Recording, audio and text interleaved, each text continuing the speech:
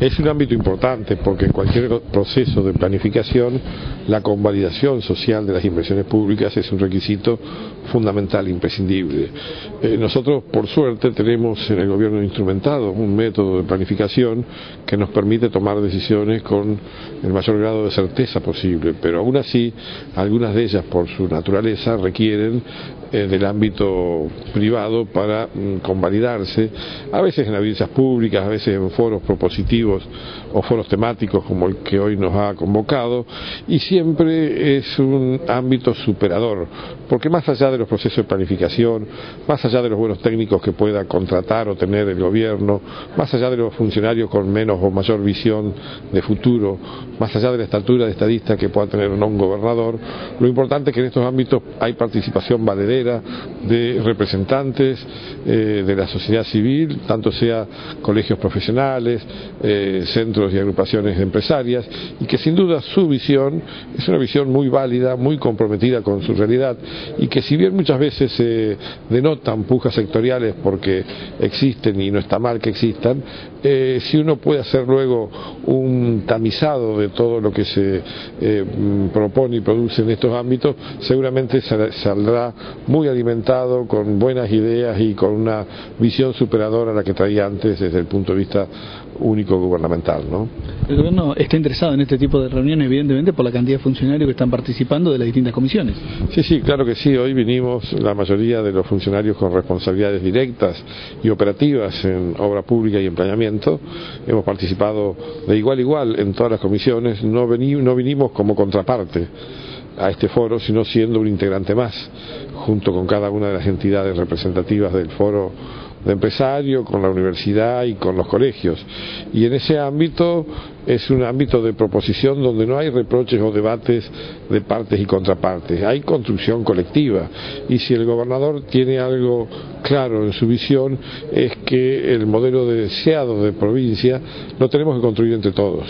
es más que un eslogan, es la visión real, eh, abarcativa, eh, digamos, inclusiva, de un gobierno que piensa que más allá de las ideologías, más allá de las banderías políticas, más allá de los intereses sectoriales, lo real y lo importante es trabajar mancomunadamente con una visión colectiva para obtener justamente los resultados esperados de un plan de desarrollo. El próximo 10 de diciembre el gobernador Sergio Uribarri va a hacer el anuncio de lo que se considera el plan quinquenal para la provincia de Entre Ríos. En esto estaría incorporada una cantidad de obras de infraestructura que el gobierno ya tiene planificado y lo que se está trabajando en estas comisiones va a ayudar a enriquecer estas propuestas que hoy el gobierno está pensando y que está tomando de la sociedad civil cuáles son las demandas necesarias.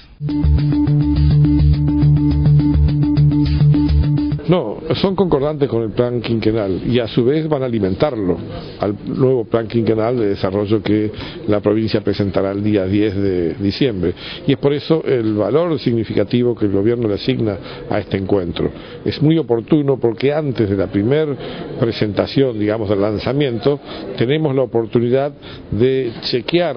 eh, más allá de que tenemos visiones concordantes, la viva voz de los sectores representativos de la sociedad civil. Y si bien las conclusiones son propuestas proactivas en todos los casos, algunas quizás no habrán sido tenidas debidamente en cuenta por el gobierno, otras sí, hay muchas coincidencias, pero nos vamos con la satisfacción de haber participado de una lluvia de ideas que va a abonar y alimentar un plan quinquenal que le dotará a la provincia, a toda la comunidad de previsibilidad, de credibilidad y de racionalidad en la asignación de los recursos. Entre las comisiones que trabajaron para llegar a las conclusiones finales hubo una dedicada a lo que es la infraestructura de enlaces viales, principalmente el de Paraná-Santa Fe, que ya está planificado, confirmado y próximo a iniciar eh, los distintos estudios para llevarlo adelante y cuáles son los otros necesarios. Hubo otra que estuvo trabajando sobre el tema de puertos y vías navegables, otra referido a la cuestión eh, ferrovial, los enlaces ferroviales necesarios y la necesidad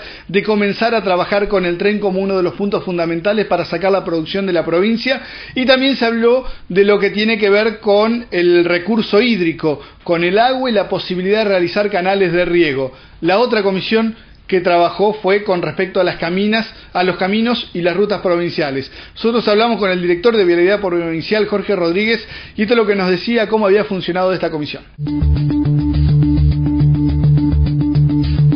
Bueno, fue muy interesante, principalmente por las propuestas que se van tirando, propuestas a positivo, ¿no? Eh, por ejemplo, el crear un área de investigación de caminos viales que tengan que ver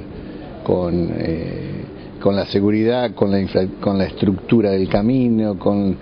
con eh, el tipo de, de modalidad, con la cantidad de, de tránsito circulante, con la cantidad de vehículos pesados, con intermodalidad. Y bueno, y ese, y ese ente que lo conforma, que formaría la UTN, eh, Vialidad y,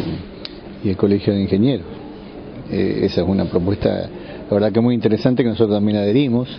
Lo mismo eh, la propuesta de mayor mayor financiamiento para vialidad o mayor cantidad de recursos económicos para vialidad en lo que respecta al mantenimiento de caminos, lo cual también adherimos plenamente porque hoy, hoy yo explicaba que,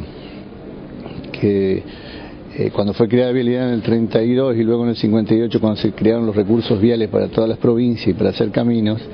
eh, se sacó el impuesto de las naftas en un 100% y luego este, las gobernaciones fueron cediendo a tal punto que hoy se está cobrando cada vialidad el 5%, el 5% del impuesto de las naftas, solamente las naftas, ni siquiera el gasoil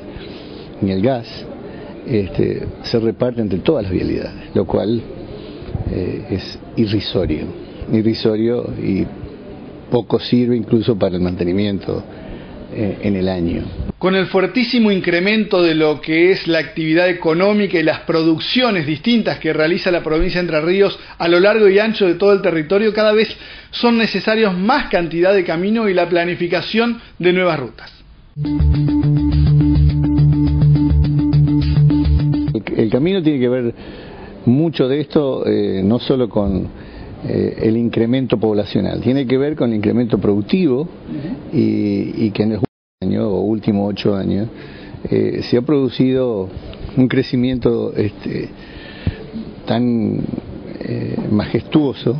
tan este, fantástico en, en, el país en lo que respecta a producción del campo que, y producción de materias primas y producción de también de las cadenas de valor. Este, eh, el incremento ha sido tan, tan este, eh, notorio que se hace necesario que vialidad y los caminos también estén a la altura de esas circunstancias, lo cual no se ha correspondido. Es muy difícil en nuestra provincia que 28.000 kilómetros de camino estén totalmente bien eh, en vistas de tratar de que tenga una salida permanente la producción durante todos los días del año. Entonces, bueno, hay que ir apuntando de poco a ese tipo de cosas y una de las, de las mayores eh, formas de, o las mejores formas de hacerlo es la planificación junto a la inversión económica. tratar de, que se planifique la conservación también. Este, esa fue una propuesta también, que con nombre y apellido se planifique que tal camino tenga su conservación a los cinco años, por ejemplo, y se prevean los recursos adecuados. Nosotros como gobierno, eh, yo tuve la posibilidad de exponer la, cantidad de obra o lo que se está ejecutando hoy actualmente en estos primeros dos años y medio de gestión, cuál fue el modus operandi y cuál fue la forma de planificar los caminos y planificar la estrategia de un plan vial sustentable, eh, que comenzará en este tiempo y que terminará en, en 8 o 10 años, este, porque la estrategia total aquí, en vistas de la semejante producción que hay, hoy los caminos de Entre Ríos son todos productivos,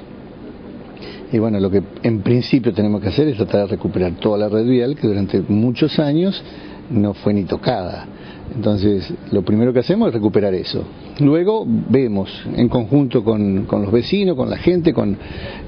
las entidades intermedias, de determinar cuáles son los caminos más importantes y, y que tengan que ver con la producción, que tengan que ver con, la población, que tengan que ver con la salud, con la educación, y ir encarando esos caminos como lo estamos haciendo. Estamos, hoy hablando de un proyecto de la Ruta 23, desde Casero hasta Villeliza. La, 23 de, desde Villa hasta Barú ya se licitó, estamos hablando de la ruta 20 que se está ejecutando, es decir, estamos hablando de la ruta 51 entre Línea Rhein y La Roque, rutas estratégicas muy importantes y que se agregarían a la cantidad de kilómetros que hoy tiene la red vial primaria de nuestra producción. Y entre los aspectos que se tocaron en esta comisión no quedó de lado el tema del cuidado, porque una cosa es construir y otra cosa es mantener. Y para mantener el uso responsable de las rutas y los caminos actuales es fundamental para su conservación. Y algo muy importante también que se tocó fue una frase que dijo el ingeniero Van eh, el, al camino no lo mata la carga, lo mata la sobrecarga. Acá lo que tenemos que tener es conciencia. Es decir, si nosotros hacemos controles de carga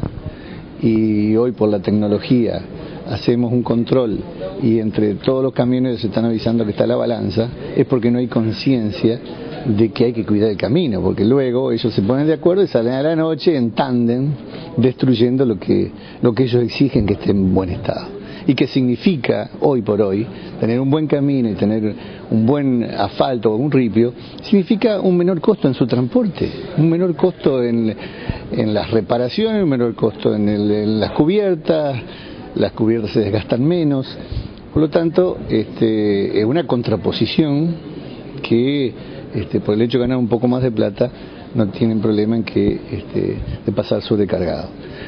y violar el control de carga y violar lo que nosotros explicamos constantemente, cuáles son los límites de esas cargas y que, bueno, eh, yo creo que tenemos que tener conciencia del uso y del abuso, y conciencia de que este, el camino es de todos, no es de, no de uno solo y solamente de los transportistas, lo usamos todos.